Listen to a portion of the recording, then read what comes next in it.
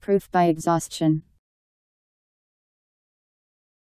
The indirect verification or falsification of a statement by the verification or falsification of each of the finite number of cases which arise therefrom.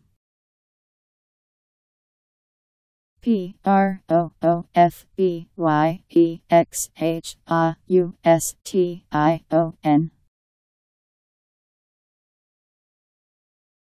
Proof by exhaustion